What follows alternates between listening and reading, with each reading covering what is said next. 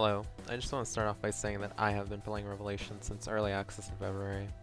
I have for the most part been keeping up with the competitive crowd that plays this game, and I have put hundreds of hours into this game. Revelation Online is a good game, so I'll build from there. It's got a unique art style which can be really pretty, and the PvE content can be challenging if you go into it blind, but that's literally where it ends. So let's dive into the bad starting with weekly capping of progression in gear, money, and experience. Leveling is frustrating because XP caps leave you to grind open world mobs for minuscule XP gains. In my journey from 60 to 69, I found myself doing all my leveling, dungeons, quests in 1 to 2 hours of the day, leaving the rest of it to do nothing. Crafting is also heavily limited because you can only do so much, and at 69 it probably takes me 10 to 15 minutes to empty all of my weeks crafting stamina to both gather and craft items to sell. Expert dungeons are your main source of gear progression or money, and they are also heavily limited to being cleared from 3 to 1 time per week. On top of that, you can't help other people on the hardest difficulty of any expert dungeon if you have already used up your entries, or entry. Now, the game's solution to these problems comes in the shape of the cash shop, from providing you with the option to get more experience per week in the form of Whimsy, or providing you with Glass Firestone to just craft better gear than dungeon drops. Uh, let's look into the batter. The game's PvP combat can be fun at times, but no PvP aspect of this game is truly equalized. Everything PvP in this game is subject to your credit card. Daily battlegrounds are not equalized. Arena on all servers I'm pretty sure is dead because again it is not equalized. Now Deathmatch and Star Shatter Island, which are two weekly events, are equalized in the sense that it only normalizes the quality of your gems and the stats on your gear. If you're missing gem sockets, you're at a disadvantage.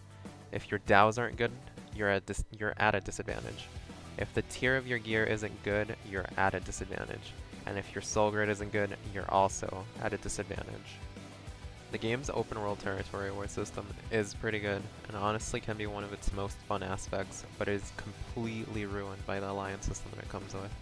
The ability to ally up to two other guilds in a territory war can produce a pretty boring monopoly of land, especially when your server might barely have enough competitive people to be in three guilds. The bugs in this game are rampant, you are not allowed to use a VPN or a service like What the Fast. If you are caught, you have to pay. You have to pay actual money to reduce your ban sentence. And I guess I will end with the worst aspects of this game.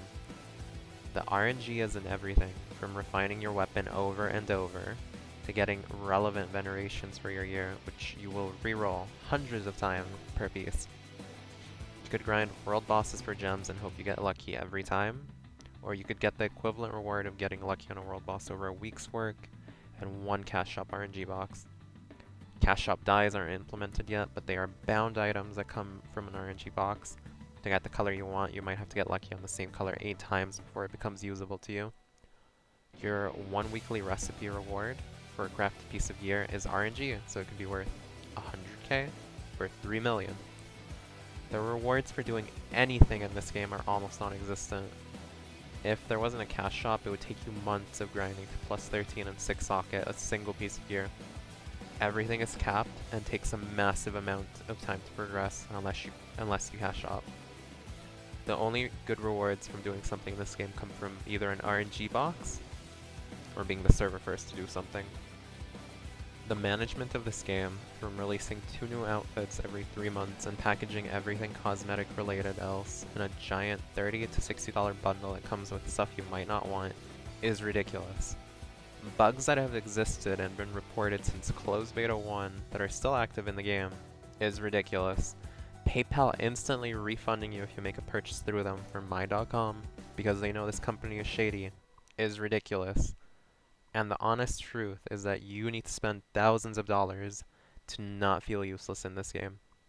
Oh shit, we're going in the oh, rear, nigga. Oh, I got raped. I don't know. Three sign? Fuck. Wipe them from behind, wipe them from behind. Yeah, we're pincering them right now, Snappy. Push, pushing them, pushing them there. Pushing them, pushing them there. You get push, you get push. Snappy, Somebody said program. Yeah, we wiped. I've done from behind. We're fucking flanking them, yeah, Snappy! You gotta say something. Well, it was right on with the impressions. Like I Yeah, swear. They just Alex? built up. Gonna literally kill you. You guys respawn rune or no? Lust, kill this nigga. That's right next to you. No, there's no point. It's too late. Yes, I'm a healer. Pull out. What are you You doing? can come back Sure, later. I'm keeping people alive. You're not fucking healing. Don't lie to me. I just If they're all gonna attack one side, we need more people on one side. Literally, people don't heal in this. I haven't received Looks a like don't even single know I what don't know why killed me, SSBT but I'm are coming in.